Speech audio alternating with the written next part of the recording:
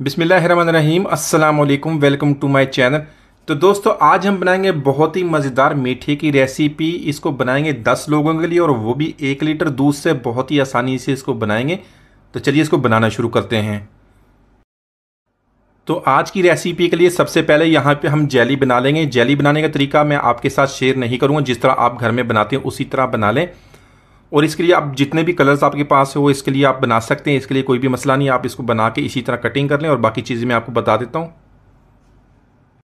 यहाँ पर ऐड करेंगे एक लीटर पानी। अब इसमें ऐड करेंगे फलूदे वाली वाइट सवैयाँ या इस तरह की कलर सवैयाँ।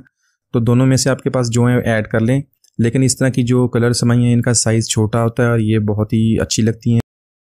तो यहाँ पर मैंने कलर वाली सवैयाँ ली हैं, इसको बॉयल कर लेंगे। तो जब ये अच्छी तरह बॉयल हो जाएँगी तो इनको निकाल लेंगे और इनके ऊपर ठंडा पानी डालेंगे ताकि इसका कुकिंग प्रोसेस रुक जाए।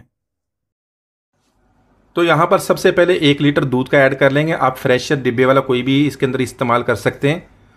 ऐड करने के बाद इसको मीडियम फ्लेम पे बॉईल करना शुरू करेंगे। साथ में 200 ग्राम चीनी का ऐड कर लेंगे। एक किलो दूध के लिए, एक किलो रेसिपी के लिए 200 ग्राम चीनी बिल्कुल आप इसको परफेक्ट है। आप इससे ज़्यादा ना ऐड कीजिएगा। इससे कम अपने टेस्ट के मुताबिक कर सकते हैं। तो यहाँ पर चीनी ऐड करने के बाद इसको मीडियम फ्लेम पे बॉईल कर लेंगे। इसमें से मैंने हाफ़ कप जो दूध का वो निकाल लिया है, उसको मैं आपको बाद में बताता हूँ उसका क्या करना है हमने। इसी तरह इसको हम मिक्स कर लेंगे और इसको बॉईल करेंगे। तो दोस्तों, आज की हमारी रेसिपी बहुत ही मज़ेदार बनने वाली है। आप इसको बहुत पसंद करेंगे। वीडियो को एंड तक देखिएगा, इसको लाइक और कमेंट ज़रूर कीजिएगा, चैनल को सब्सक्राइब कीजिएगा, ताकि आने वाली तमाम वीडियोज़ आपको मिलती रहें। तो यहाँ पर जो हमने दूध निकाला तो उसके अंदर four tablespoon vanilla custard के ऐड कर लेंगे। आप कोई भी फ्लेवर जो आपकी पसंद के मुताबिक उसको ऐड कर सकते हैं। इसको अच्छी तरह मिक्स कर लेंगे। तो यहाँ पर दूध हमारा बॉयल हो गया। इसमें जो हमने कस्टर्ड को मिक्सर बनाए इसको थोड़ा थोड़ा ऐड कर लेंगे। यहाँ पे फ्लेम को हमने लो कर देना है। लो फ्लेम पे थोड़ा थोड़ा कस्टर्ड ऐड करेंगे और साथ के इसको हिलाते भी रहेंगे और ऐसा इसको मिक्स करते रहेंगे साथ में और सारा कस्टर्ड इसके अंदर ऐड कर लेंगे। तो यहाँ पर कस्टर्ड ऐड करने के बाद इसको लो फ्लेम पे कुक करेंगे ताकि ऐसा ऐसा जो हमारा दूध है, ये गाढ़ा हो जाए। जब ये गाढ़ा हो जाएगा तो फ्लेम को ऑफ़ कर देंगे, इसको रूम टेम्परेचर पे ठंडा कर लेंगे, उसके बाद इसको फ्रिज में रखते हैं ताकि अच्छी तरह ये ठंडा हो जाए। और बाद में आपको दिखाता हूँ हमने इसको किस तरह करना है। तो यहाँ पर देख लें, मैंने इसको फ्रिज में रख के ठंडा कर लिया था, इससे ज़्यादा आपने इसको गाढ़ा नहीं करना।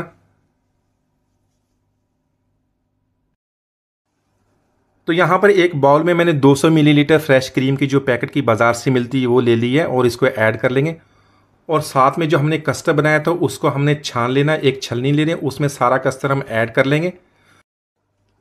तो इसी तरह एक दफ़ा इसको छान लेंगे। इस तरह जो हमारी ये रेसिपी है, बहुत ही ज़्यादा जो हमारी लबे है, बहुत ही स्मूथ बनेगी। देखें, इसी तरह सारी गुठलियाँ इसके अंदर से निकल जाएँगी और बहुत ही स्मूथ इसके साथ टेक्सचर बन जाएगा। तो यहाँ पर क्रीम और जो कस्टर्ड वाला दूध है, इसको बहुत ही अच्छी तरह हमने मिक्स कर लेना। देखें बहुत ही अच्छी तरह ये स्मूथली इसका टेक्सचर बन गया है। और साथ में ऐड करेंगे रंगीन सवैयाँ जो हमने बॉईल कर ली थी और इसके इसके अंदर ऐड करने के बाद इसको मिक्स कर लेंगे अच्छी तरह। तो यहाँ पर इन सारी चीज़ों को मिक्स कर लेंगे। यहाँ पर जो हमने जेली बनाई थी, उसकी कटिंग कर ली थी वह ऐड कर लेंगे और साथ में अपने फ्रूट्स अपनी टेस्ट के मुताबिक, अपनी मर्ज़ी के मुताबिक मैंने केला ले लिया, उसको बारीक काट लिया है। सेब और साथ में डिब्बे वाला कोकटेल वो इसके अंदर ऐड कर लेंगे। और साथ में जो हमने कस्टर्ड और सवियों का मिक्सचर बनाया था, वो भी इसके अंदर ऐड करेंगे। इसके ऊपर फिर एक लेयर लगाएँगे जो हमने जेलीज बनाई थी, और साथ में बरी कटा हुआ पिस्ता और बरी कटा हुआ बादाम ऐड करने के बाद इसको फ्रिज में रख दें ताकि अच्छी तरह ठंडी हो जाए। तो माशाल्लाह हमारे बहुत ही मज़ेदार लबे शीरी का मीठा हमने बहुत ही आसानी से बना लिया। उम्मीद है अच्छी रेसिपी आपको पसंद है मिलते हैं इजाज़त दीजिए। अल्लाह हाफिज़।